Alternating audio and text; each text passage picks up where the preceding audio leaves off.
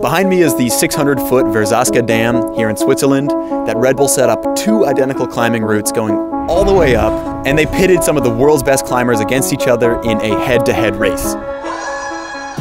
Yeah, over the past few days, we've been able to hang out with some of the biggest names in rock climbing. Plus, we got to have an experience of climbing on the dam ourselves. It was pretty crazy. It was amazing. Oh, fuck.